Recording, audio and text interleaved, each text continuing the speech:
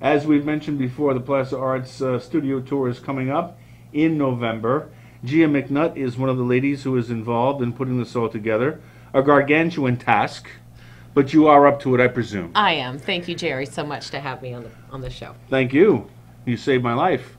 You helped me get collections of all these uh, artworks, be able to show people so they'll be tantalized and want to take the tour themselves. That's what we hope. Now, your work is on this tour this year. That is correct. So now, let, uh, tell us please about the rest of the artists on the tour that you have uh, chosen for us to get familiar with, and also let us know of the personal friends of yours and uh, what you enjoy talking to them about. Okay, wonderful. Well, I'm going to start with Jay Stargaard, who is a metal sculpture and jewelry artist. And I went to her studio just last week for the Placer Arts uh, League tour that we did of her studio. Her metal sculptures are stunning.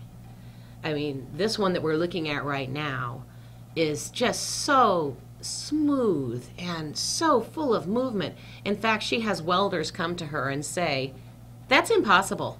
That's not possible. well, obviously it is. She made it happen.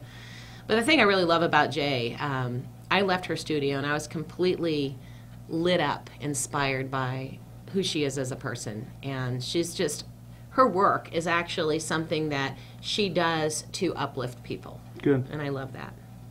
Okay. Who else have you got? We have Rick and Janet Nicholson of Nicholson's Blown Glass, and they have been on the studio tour longer than any other artist. So they've been on the studio tour 23 years, and their blown glass creations are legendary. Even you've been to their studio. We Yes, were talking earlier, Yes. and uh, man, oh man, uh, they've got so many beautiful function you know it's it's it's art that you don't really want to put anything in but they they have functional uh, art on uh, for example they have those lovely uh, teardrop lights that you see um, hanging over a bar. They make those. They make uh, wall pieces as well. But uh, janet has been very instrumental in the tour. In fact she's she's in charge of all the volunteers she's the coordinator of all of that so uh, they just do a whole lot for the community, and I love them very much, and their, their work is amazing.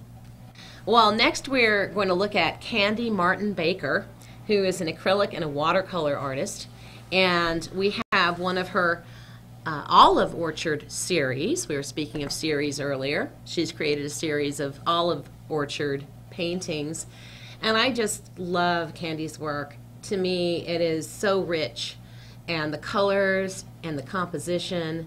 She also was one of, like I, uh, we got to paint utility boxes here in Auburn.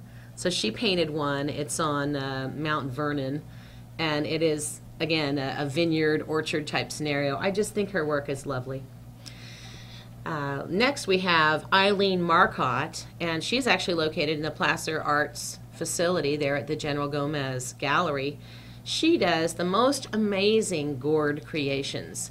So, uh, very unusual. Uh, not just the gourd itself and painted, but she adds things like dyed leather and metal uh, things. Uh, It's just fabulous. She also makes some little things as well, such as necklaces, etc but really great artist there.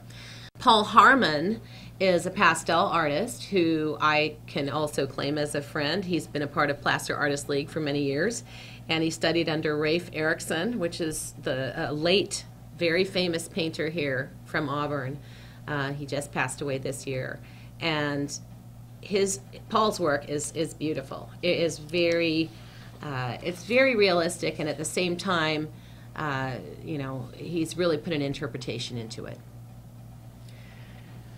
Next on the list is Mya Louw, and she is an oil, acrylic, and pastel artist. She's out of Granite Bay. Very excellent artist. Um, her landscapes are stunning, but what we're looking at right now is an image of one of her ladies series. And they're very vibrant.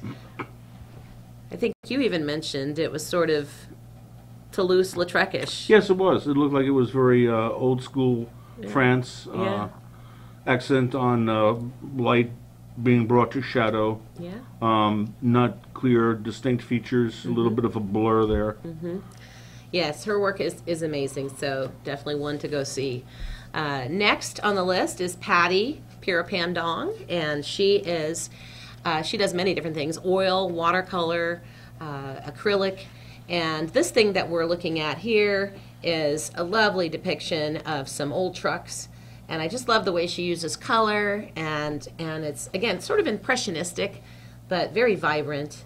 And she likes to paint old things, and I kind of like that. Okay. Uh, next, we're going to look at Keith Smith, who is a batik artist, and he's got some lovely silk scarves. This is one of them. It was really hard to select which one to use for this, but uh, this one is gorgeous. Lovely turquoise colors. Uh, excellent artist. He works with his wife. They collaborate, and she does silk painting as well. What's the meaning of batik? Batik is a technique using dye and wax. Okay. So um, I, I'm sorry I can't explain it any further than that, but I always thought it was a mixture of different textures and different materials.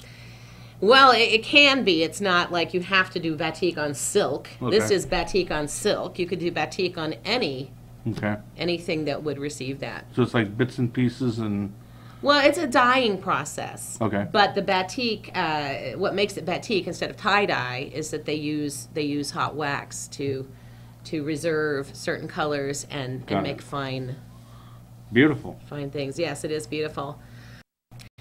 And the last artist we're featuring today is Jeannie Kaiser, who is a fiber artist. And this piece uh, is this fabulous tunic that is made of fiber. And the textures and the colors are just phenomenal. I actually saw this piece on someone this last Friday night. I was at Old Town Gallery and she walked in. I happened to know her and I was like, I love that. And Jeannie was right there and I said, Jeannie, I want you to make me one of these. Great. So, Alrighty. Thank you very much for all of your insight and your explanations. my Uh, pleasure. it's a pleasure to talk to an artist. I've got I've got one final question. It may sound a little silly, but um, I guess it just comes from watching too many shows like Deal or No Deal or something like that. Do artists see each other's work and try to make a bargain for a trade? or is it cash on the barrel head and that's it? Oh no, there's trading. there There's really? definitely trading. Um, people who are artists typically really appreciate art.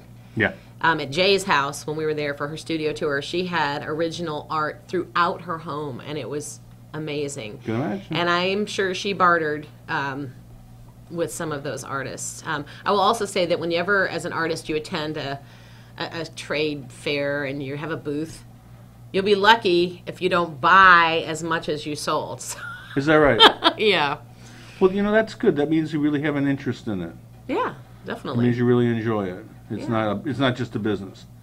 No, most people who create art create it because they truly love it, and then, you know, business is something one needs to do. Yeah, but it's it's it can be both. Yeah, Uh, I know that you have done it. Mm-hmm. Gail Rappaport Wyland has done it. definitely. Craig Johnson and a few others. Tara Beaton, whom I admire very much. Mm-hmm. So I want to thank you very much for being our guest. Thank you, Gerry. Now, once again, remind us of the dates of the tour. This is all free by uh, by way of saying you need to come and see this. It's all free. Yep, the tour dates are November 11th, 12th, and 13th, and it is uh, 77 artists, Okay. 40 locations. You can get a tour guide from the Placer Arts website. Okay.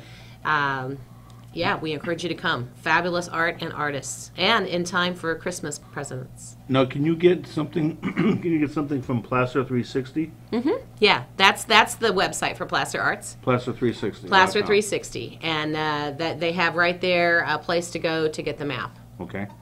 And once again, what's your website so we can send people to see your work? My website is giamcnutt.com. Okay.